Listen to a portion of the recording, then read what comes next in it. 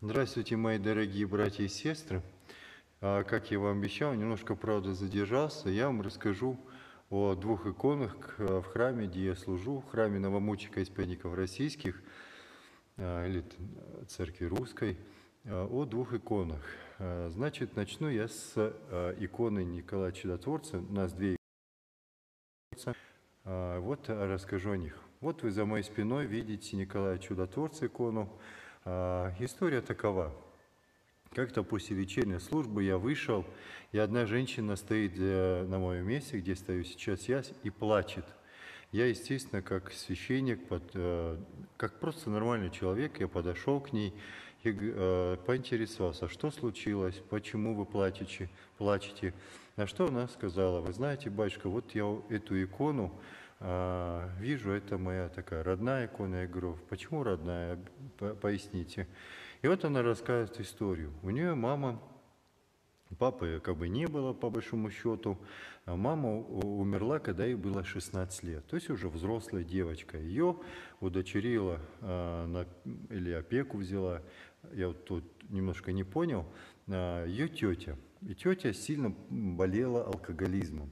И вот в очередной раз, когда она пришла со школы, то э, увидела, что эта икона есть. А икона на самом деле очень большая такая, если вы посмотрите.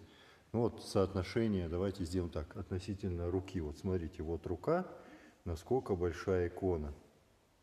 Вот, и она ее спрашивает, а где икона, куда делась?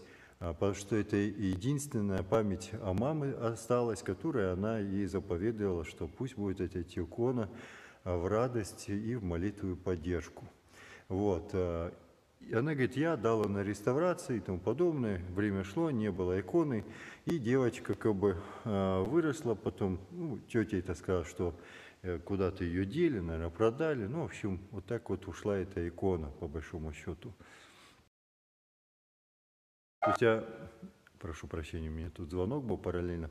Спустя время она поступила в... Они сами жили здесь, на Кубани. Она в Саратовской области в институт и познакомилась там с юношей. Этот юноша при- очень так с ней сдружился, а, она ему стала импонировать, и он решил познакомить ее с родителями. То есть такой жених, можно сказать. Вот, э, приведя к ее к себе домой, она а, познакомилась с родителями, родителям она понравилась. Вот, и когда ее завели а, в, а, в другую комнату, а, говорит, ну если что, если вот распишитесь, венчаетесь, будете в этой комнате жить. И для своего взора неожиданно пред- она увидела эту икону, икону, которую оставляла ей ее мама, благословляя ее, чтобы она молилась. И вот где Кубань, где эта область. И вот таким промыслительным образом она увидела икону, и мама уже этого юноши сказала, что мы будем благословлять вас, и эта икона в том числе будет у вас. А, Я поинтересовался, как же она появилась, как очутилась. И вот тут все раскрылось. Она говорит, что мой муж, ну, мама этого юноши, мой муж, дальнобойщик, ехал, и он увидел женщину, которая стоит с иконой. Он, говорит, остановился, спросил, что это с иконой, можешь вас подвести? Говорит, я хочу продать эту икону. В итоге выяснилось, что она продала эту икону, чтобы купить себе опять бутылку выпить. Вот. И эта икона, он купил ее, и а, очутилась она у них так дома. Вот так вот промыслительно а, эта икона вернулась к ним в семью, и она подумала, что раз так Господь промыслительно в ее жизни э, через этот образ успокоил ее душу, то я дам ее уже позже построен, а был еще более старый храм, в котором я уже не служил, вернее, еще не служил. Вот, э, и из того храма сюда ее перенесли в храм, где сейчас я служу. Вот икона Николая Чудотворца. Это вот первая икона. И вторую вам расскажу. А, Тут вообще очень интересная тоже история. Вот вам покажу икону, тоже Николая Чудотворца икона.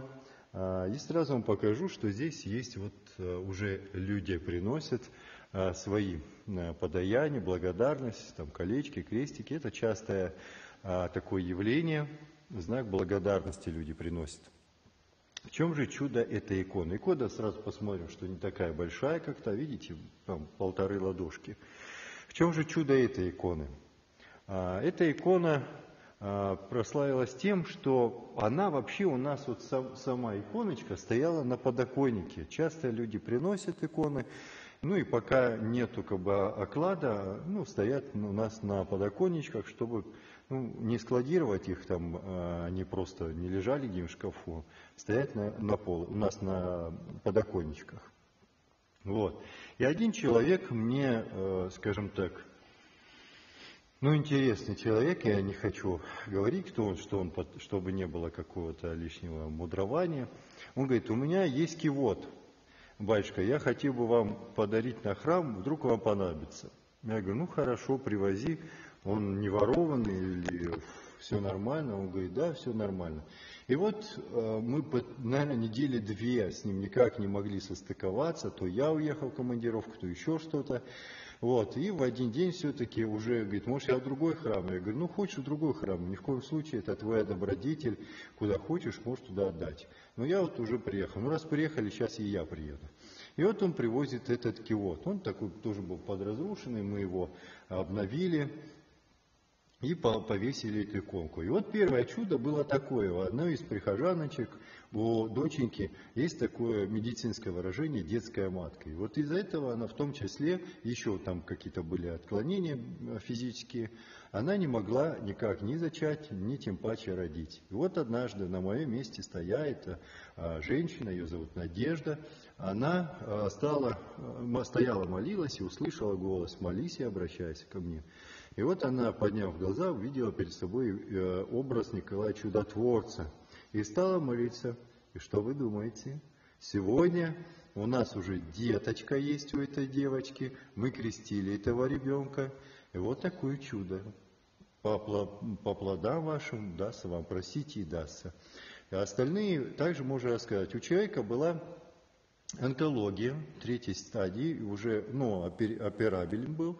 И вот э, он э, причастился, помолился, э, пришел, говорит, батюшка, благословите на операцию. Ну, естественно, благословил и подошел, молился, видя уже здесь колечко, повесило.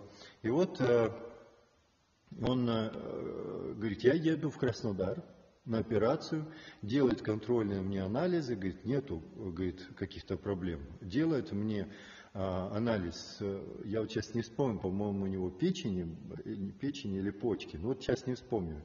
Надо будет вообще записать все эти истории, чтобы и они а, подписались, как документальное такое подтверждение.